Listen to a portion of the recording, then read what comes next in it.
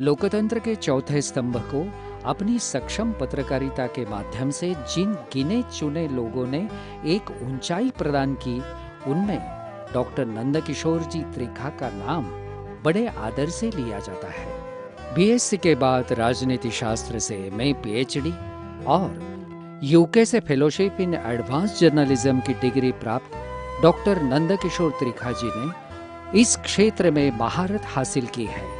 एक वरिष्ठ संपादक, स्तंभकार तथा लेखक के रूप में डॉक्टर त्रिखा जी ने पत्रकारिता जगत में कई नए आयाम गढ़े हैं। भारतीय पत्र पत्रिका में लेखन के साथ साथ कई विदेशी पत्र पत्रिकाओं से आप जुड़े रहे हैं। उनके 6500 से अधिक विचार एवं शोधपूर्ण लेख, हिंदी तथा अंग्रेज़ी के राष्ट्रीय एवं अंतर्राष्ट्रीय पत्र पत्रिकाओं में प्रकाशित हुए हैं। मेरे मन में उनकी प्रतिमा जो बनी हुई है वह एक अच्छे इंसान अच्छे सज्जन इंसान और राष्ट्रभक्त इंसान और केवल इतना ही नहीं तो राष्ट्रभक्त पत्रकार इस नाते ये छवि मेरे मन में बनी हुई है। आपने सन उन्नीस से लगभग 29 वर्षों तक टाइम्स समूह के अग्रणी समाचार नवभारत टाइम्स में बतौर संपादक अपनी सेवाएँ दी। इस दौरान पत्रकारिता के कई जिम्मेवारियों को बखूबी निभाया। आपने हिंदुस्तान समाचार न्यूज़ एजेंसी के चेयरमैन, संपादक के पद को सुशोभित किया है।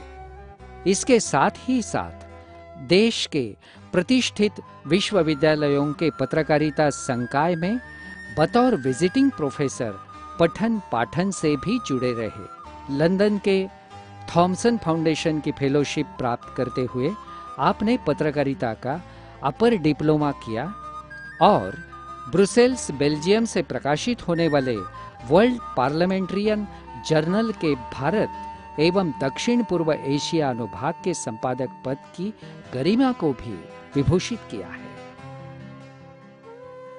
जो श्रमजीवी पत्रकार है इन पत्रकारों के साथ जिस प्रकार से रहते हैं और उनके साथ जो शिक्षा देने का प्रयास करते हैं, वह एक बहुत ही सराहनीय ऐसी ऐसी बात मेरे मन में सदैव रहती है।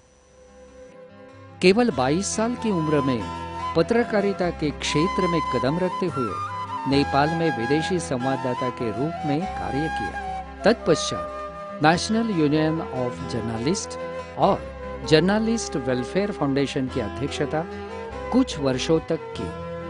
विशेषज्ञ समिति सदस्य के रूप में, पत्रकारिता पाठ्यक्रमों के निर्धारण में आपने अपना महत्वपूर्ण योगदान दिया है। आदर्श पत्रकारिता और कुशल चुनावी विश्लेषक के रूप में आपने अपनी विशेष पहचान कायम की है।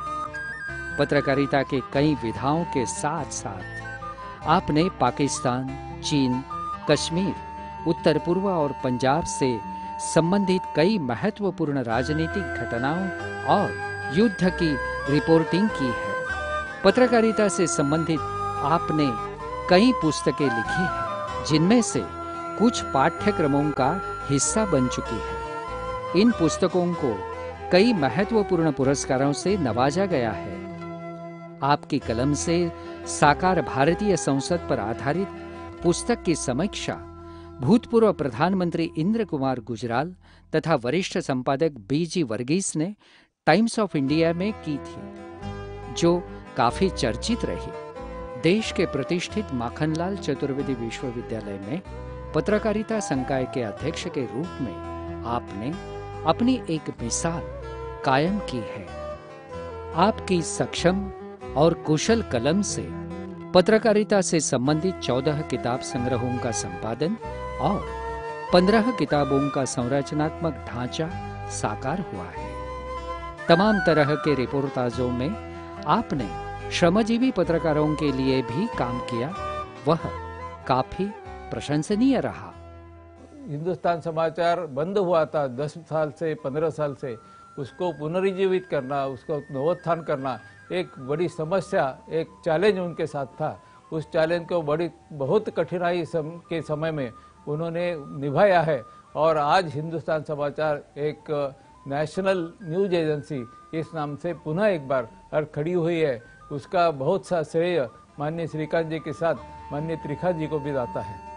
राष्ट्रीय एवं अंतर्राष्ट्रीय स्तर पर पत्रकारिता के अलग जगाने वाले डॉक्टर त्रिखा जी को कई मान सम्मान एवं पुरस्कारों से नवाजा गया है, जिनमें से प्रमुख है महामहिम राष्ट्रपति द्वारा प्रदान, गणेश शंकर, विद्यार्थी सम्मान, उत्तर प्रदेश सरकार द्वारा पत्रकारिता भूषण सम्मान, दिल्ली सरकार द्वारा हिंदी अकादमी पुरस्कार, प्रधानमंत्री द्वारा पंडित दीनदयाल उपाध्याय नचिकेत पुरस्कार, उत्तर प्रदेश के राज्यपाल महोदय द्वारा प्रदान साहित्य सम्मान, राष्ट्रीय पत्रकारिता अध्यापक संगठन द्वारा गुरुश्रेष्ठ सम्मान इत्यादि का समावेश है। इनके अलावा कई प्रतिष्ठित संस्थाओं द्वारा भी आपको सम्मानित किया गया है।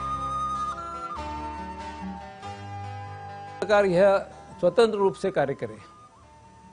कोई भी पॉलिटिकल पार्टी हो, शासन हो, इस शासन के साथ या पॉलिटिकल पार्टी के साथ उनका ज़्यादा घनिष्ठ संबंध न रहे। उनका जो प्रेशर आएगा, उनका दबाव जाएगा। इस दबाव के कारण कोई अपनी नीति बदल बदल दे और कोई समाचार बदल दे, इस प्रकार का व्यवहार उनको कभी मान्य नहीं था।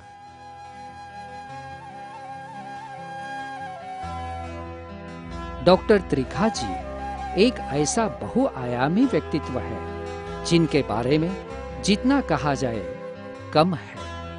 संक्षेप में कहे तो आसमान की ऊंचाई वही पा सकता है, जिसके पैरों के नीचे माटी की पकड़ मज़बूत होती है। पत्रकारिता जगत में आदर्शवत रहे बापूराव जी लेले की स्मृति में उन्हीं की तरह शुचिताबद्ध आदर्श पत्रकारिता करते हुए अपना विशेष मकाम कायम करने वाले वरिष्ठ पत्रकार डॉक्टर नंदकिशोर जी त्रिखा को पत्रकारिता में जीवन गौरव सम्मान प्रदान करते हुए राष्ट्रीय पत्रकारिता कल्याण न्यास अपने आप को गौरवान्वित महसूस कर रहा है।